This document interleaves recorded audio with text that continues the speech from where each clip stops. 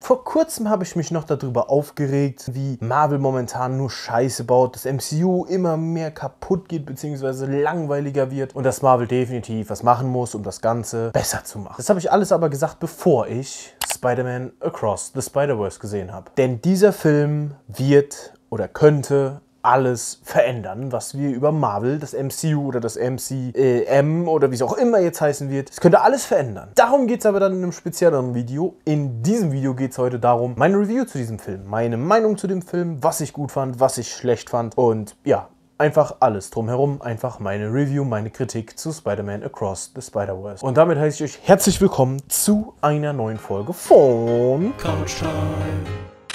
Der erste Teil Spider-Man Into the Spider-Verse war schon genial und hat schon sehr viele neue Fans an Land gezogen und vor allem auch sehr viele Spidey-Fans, glaube ich, irgendwo sehr viel glücklich gestimmt. Unter anderem, weil dieser Artstyle unfassbar geil ist, unter anderem, weil die Story interessant ist, weil die Charaktere lustig sind und vor allem, weil es ein bisschen die Ernsthaftigkeit und den Druck des MCUs, MCMs rausnimmt einfach. Aber wie gesagt, heute geht es nicht um den ersten, heute geht es um den zweiten, der aber auch ein, perfekte, ein perfekter Zusammenhang ist. Dieser Film hat bis jetzt eine bessere Trilogie erzählt als fast alle anderen Spider-Man-Filme. Fangen wir aber erstmal beim Optischen an und zwar der Artstyle, beziehungsweise wie dieser Film überhaupt filmerisch gemacht ist. Also wie gesagt, der Artstyle. Unfassbar krass. Und was heißt der Artstyle? Man muss sagen, die Artstyles. Es treffen da so viele Artstyles aufeinander. Die Animationen sind crispy clean. Es sieht unfassbar schön aus. Dieser Film ist Hammer. Farbenprächtig, krass animiert, wie gesagt. Wie gesagt, so viele verschiedene, allein jede, jede Spider-Man-Variante hat irgendwo ihren eigenen Artstyle. Die Artstyles von einem Charakter ändern sich auch sekündlich. Und wie gesagt, auch einfach filmisch super Hammer krass gemacht, dieser Film. Einfach ein Augenschmaus für jeden Spidey-Fan, aber auch allgemein jeden Film-Fan, weil das ist nicht so dieses Animationskindische, sondern einfach ein schöner, ja, ein schöner Film. Einfach ein schöner Film. Gehen wir mal auf den ersten Spidey ein, der uns wirklich in die Fresse geschleudert wird und das ist Spider-Man 2099. Holy shit, als das Theme gedroppt ist und sein erster Auftritt war. Ich habe Gänsehaut des Todes gehabt.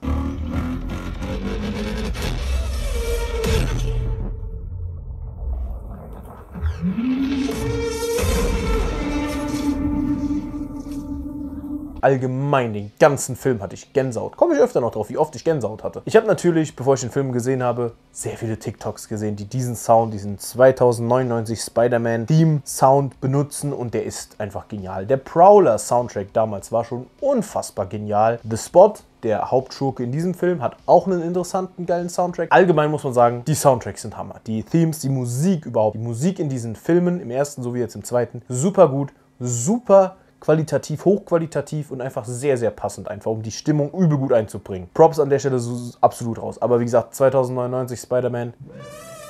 Gänsehaut, wirklich der erste Auftritt, Gänsehaut pur. Kommen wir zu einem Punkt, den ich so ein bisschen langweilig fand, beziehungsweise ich konnte damit nicht wirklich was anfangen und das war überhaupt das ganze Miles Morales Familiendrama der Dad, der in einer Art Krise steckt, weil er nicht weiß, was mit seinem Sohn ist. Die Mutter, die merkt, dass er ihn an, äh, dass sie von ihrem Sohn angelogen wird. Überhaupt das Ganze. Er kommt zu spät. Er hin und her. Dieses ganze Familiendrama, was wir da sehen. Irgendwie ja, eine gute Side-Story halt und ist wahrscheinlich auch sehr wichtig für den weiteren Verlauf der Filme. Aber ich fand diese ganzen Szenen immer dann so ein bisschen Boah, ist sehr, sehr zäh gewesen, finde ich. Muss ich sagen. Hat mir nicht so gut gefallen, hätte ich nicht gebraucht. Natürlich braucht man auch irgendwo ein bisschen Sp äh, abseits Spider-Man eine Spider-Man-Story, also eine Miles Morales-Story, hat Peter Parker ja auch immer. Aber hier wirkt so ein bisschen gezwungen, war im ersten Teil wesentlich angenehmer gemacht. Hier ist es so, boom, die Action und hier unten ist übrigens noch so die Familiendrama-Story. Da war nicht so wichtig, finde ich persönlich. Natürlich, deine Daseinsberechtigung ist da, klar, gar keine Frage. Dann kommen wir zu einem Punkt, der mir aufgefallen ist. Was hat Marvel mit ihren Löchern? Zuerst dieser komische Schleimdude bei äh, Ant-Man Quantumania, der Löcher haben will, dann Löcher hat und fragt, wer hat wie viele Löcher. Jetzt haben wir fucking The Spot, der aus Löchern besteht und der auch ganz viel mit seinen Löchern macht und redet über seine Löcher. Marvel, vielleicht auch Kevin Feige, aber eher Marvel allgemein. Was habt ihr mit euren Löchern? Was ist da los? Also das wird jetzt in den letzten Filmen ist das sehr, sehr viel gewesen. Ich habe Guardians noch nicht geguckt. Ich schwör's, wenn da Löcher drin vorkommen, dann mache ich ein extra Video zu Marvel und seinen Löchern. Weil das ist mir aufgefallen, was es also momentan sehr viele Löcher im MCU oder im Marvel allgemein findet. Sehr viele Löcher. So, und wir unterbrechen diese Sendung kurz mal, um eine Aufforderung oder eine Bitte an euch zu stellen. Ich habe es schon im Video gesagt, was heute äh, morgens, mittags, vormittags kam. Aber ich erwähne sie auch nochmal, um die Leute vielleicht doppelt abzuholen. Und zwar, ich plane wieder ein Couch Comments. Ein Format, was ich eingeführt habe, um einfach Fragen zu beantworten. Also die euch auf dem Herzen liegen. Deswegen ist das jetzt die Zeit und das ist die Möglichkeit. Schreibt jetzt gerne einen Kommentar mit einer Frage, egal über was. Egal über Thema Filme, Serien, Spiele, mein Privatleben, alles, jede Frage, die euch im Kopf vorschwebt. Und wenn es auch nur ist, was ist deine Lieblingsfarbe? Wenn euch die Frage im Kopf schwirbt, schreibt sie in die Kommentare mit dem Hashtag CouchComments und dann wird das gesammelt und in einem extra Video hochgeladen. Da kommt dann wahrscheinlich auch euer Kommentar drin vor. Ich werde dann noch einen Community-Beitrag zu posten, da könnt ihr dann auch gerne Fragen reinschreiben, aber hier schon mal an der Stelle erwähnt, äh, machtet gerne, ne? Danke im Voraus schon mal. Wenn ihr da unten seid, könnt ihr auch gerade einfach den Like-Button drücken, wenn es euch bis jetzt gefallen hat oder allgemein euch der Kanal gefällt. Nur wenn ihr schon da unten seid, ne? Also alles gut. Danke. Weiter geht's. Ich habe ja gerade eben schon die Animationen angesprochen und jetzt gehen wir mal auf die Kämpfe ein. Denn die Kämpfe sind, ich habe es mir hier in meinem Skript hingeschrieben, 11 von 10. Ich würde es wahrscheinlich noch höher ranken, weil man muss sagen, die Kämpfe sind faszinierend. Ich habe es schon mal in einem anderen Video, ich glaube, das war mein äh, Video über meine Lieblings-Anime-Serien. Da habe ich schon mal gesagt, das Gute an Animationsfilmen, Serien ist einfach, dass Sachen, die mit echtem oder mit CGI nicht vernünftig dargestellt werden können, super gut dargestellt werden. Kampfszenen zum Beispiel. Die Kampfszenen in diesem Film ob es Miles erster Kampf gegen den, äh, gegen den Spot ist, ob es überhaupt der Spider-Man 2099 Kämpfe sind, alle. Egal welcher Kampf. Egal welcher Kampf. Es fühlt sich so krass an. Es ist einfach, es ist unfassbar genial animiert. Es sieht super, es kommt Brutalität rüber, obwohl es ja auch eher schon ein bisschen kinderfreundlich gemacht ist. So Ticken, aber es kommt eine Aggressivität und Brutalität in den Kämpfen rüber, die man in einem echt, mit echten Menschen niemals erreichen kann. Allein nur die Verfolgungsjagd zwischen Miguel, also Spider-Man 2099, für die es nicht wissen, ne? Miguel O'Hara, Spider-Man 2099. Die Verfolgungsjagd, allein wie er mit seinen Krallen da diesen Zug oder diese Rakete oder was es ist, hochklettert, so roh, so brutal, so geil. 11 von 10, vielleicht auch 11.000 von 10. Super geil gemacht. Kommen wir zu einem äh, dickeren Thema, ein dickerer Fisch. Und ich werde da definitiv mehrere einzelne Videos zu machen. Da habe ich schon was geplant. Und zwar geht es mal um das Spider-Verse. Beziehungsweise wahrscheinlich um überhaupt das Multiversum, was ähnlich ist wie das Spider-Verse. Denn wir haben dicke Fische bekommen. Und zwar gibt es die neuen Canon-Events. Also die Events, die in einem Leben eines Spider-Mans, einer Spider-Woman, wem auch immer, oder eines Spider-Schwein passieren müssen. Wenn die nicht passieren, ist scheiße. Haben wir schon mal. Und zwar ist das das Nexus-Event gewesen, was wir aus What If kennengelernt haben. Ein Event, was passieren muss, zum Beispiel Doctor Strange, muss seinen Unfall haben, muss seine Frau in diesem Fall verlieren. Wenn das nicht funktioniert, ist scheiße. Ob da jetzt ein Unterschied zwischen Canon und Nexus Event ist, darauf gehe ich in einem anderen Video ein. Ne? Das werde ich in einem anderen Video ausdiskutieren, allgemein dieses ganze Thema. Aber grob erklärt ist zum Beispiel jeder Onkel Ben, der gestorben ist. Oder ein Freund von Spider-Man oder irgendein Familienmitglied. Irgendwer, dem Spider-Man wichtig ist, stirbt, ist in den meisten Fällen ein Canon-Event. Das muss passieren, wenn man das vermeidet, geht wahrscheinlich dieses Universum, in dem das nicht passiert ist, unter. Das ist quasi das, der, der Fixpunkt eines jeden Spider-Mans. Die Frage ist nur, momentan hat das Multiversum und diese Events, hängen die mit dem Spider-Verse zusammen oder ist es vielleicht sogar das gleiche oder sind die Canon-Events wirklich nur auf Spider-Man begrenzt? Weil am Ende des Tages ist es ja dasselbe. Etwas passiert nicht, was hätte passieren müssen und das Universum zerbricht. Das ist ein sehr, sehr interessantes und schwieriges Thema. Wie gesagt, da werde ich zwei, drei extra Videos Videos zu machen. Wie gesagt, nur grob zusammengefasst, es ist ein Event, was passieren muss. Das ist jedem Spider-Man passiert und das war mit einer der epischsten Szenen, wo das erklärt wurde, weil wir Andrew Garfield Spider-Man gesehen haben. Wir haben auch Tobey Maguire Spider-Man gesehen. Wir haben alle Spider-Man gesehen, die ihre Events hatten. Und dann wurde uns erklärt, Miles Event kommt noch. Plus der Aspekt, dass unser Miles Morales, wie wir ihn jetzt hier in diesem Film kennen, niemals hätte Spider-Man werden sollen. Denn die Spinne, die ihn gebissen hat, kam von Erde 42 und hätte zu einem anderen Miles Morales gehen sollen. In diesem Universum ist auch nur der Peter Parker, der Spider-Man, gestorben im ersten Teil, weil Miles von der Spinne gebissen wurde. Dadurch ist quasi so viel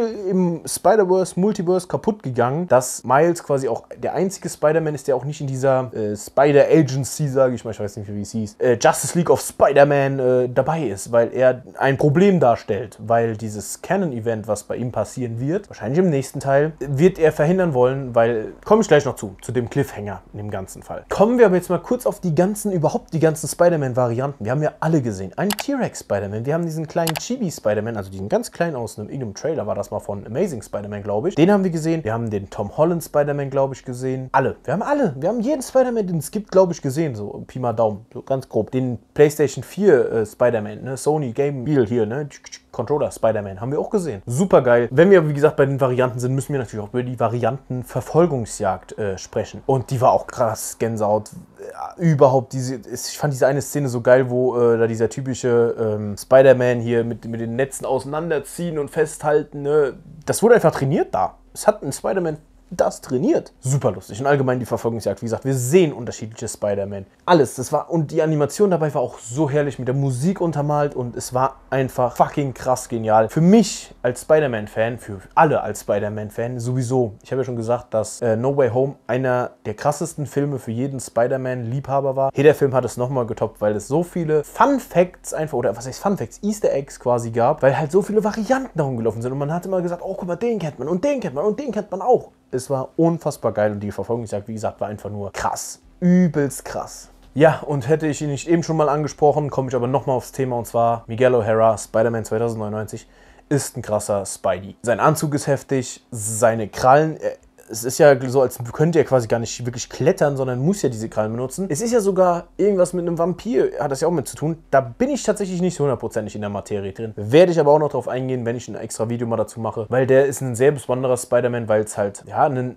kein richtiger oder ein anderer Spider-Man einfach ist, muss man sagen. Es ist einfach was anderes. Auch seine Spinnenweben sind so rot leuchten. Übel krass. Ah, das muss ich einfach nochmal hier erwähnt haben. Das ist einer der krassesten Spider-Man. Ich habe ein bisschen Angst, dass wir ihn in Live-Action bekommen, weil das viel kaputt machen würde. Man muss zwar natürlich sagen, Oscar Isaac eine krasse Rolle wieder gespielt. Also er hat ja die Stimme, glaube ich, gegeben. Unfassbar krass. Aber Oscar Isaac jetzt in einer Real-Life-Verfilmung als Miguel O'Hara würde ich nicht so fühlen. Zum einen er ist Moon Knight und zum anderen, äh, das soll bitte nicht real verfilmt werden. Miles Morales in Echt, ja, super geil, aber nicht unbedingt äh, Miguel O'Hara. Fände ich ein bisschen, würde das rausnehmen. Apropos Miles Morales in Real Life. Wir haben ja, wie gesagt, Andrew Garfields echtes, also menschliches Gesicht gesehen, Tobey Maguire. Und es war der Prowler aus Far From Home. War es Far From Home? Ja, ich meine ja. Nee, es war äh, No Way Home. Nee, dem ersten Homecoming, der Prowler, wo, wo unser Spidey dahin und dem an der Motorhaube und der Typ mit dem Handschuh und sagt, hier, ich habe einen Typen, einen Cousin oder einen äh, Neffen in der Nachbarschaft. Das ist der Prowler, das ist der Neffe, in dem, um den es geht, ist Miles Morales. Bedeutet, wir können einen Miles Morales in Real Life bekommen, aber da wird es ja wieder das Problem, es ist nicht der, also in diesem Universum, wo hier Toby, äh, wo Tom Holland Spider-Man ist, wird Miles Morales kein Spider-Man, weil das nicht vorgesehen ist, weil hier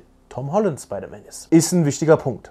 Kommen wir nun zum Cliffhanger am Ende des Films und danach noch ein kleines Thema, was ziemlich groß ist und weswegen ich auch definitiv ein extra Video machen werde. Und zwar der Cliffhanger am Ende. Wir sehen, Miles geht ja in die Maschine rein, wird zurückgeschickt, kommt aber raus, dass er in einem falschen Universum ist, nämlich in dem Universum oder auf der Erde 42, da wo die Spinne herkam, die nicht ihn hätte beißen sollen. Und wir sehen, sein Onkel lebt noch, also der Prowler, zumindest im anderen Universum, er wird äh, gekidnappt und dann sehen wir, der richtige Prowler kommt und es ist Miles Morales. Und in diesem Moment war so vielen Fans klar, oh mein Gott, im ersten Teil Teil. Man weiß noch genau, der Spinnensinn von unserem Peter Parker aktiviert sich in Rot und Blau. Er sieht Miles Sinnesaura, nenne ich es mal, die erst grün und lila ist, sich dann aber rot und blau verfärbt. Und genau, man muss es sagen, dieser Miles Morales, unser Miles Morales, Spider-Man, hätte vorgesehenerweise Prowler werden sollen. Und der, der jetzt Prowler ist, hätte Spider-Man werden sollen. Und das wird ein interessantes Thema für den nächsten Film, weil da jetzt so ein krasser Cliffhanger mit äh, veranstaltet wurde, weil es ist Hammer, was das ist. Das war halt dieser Butterfly-Effekt mäßig. Falsches Universum, zack, zack, bumm.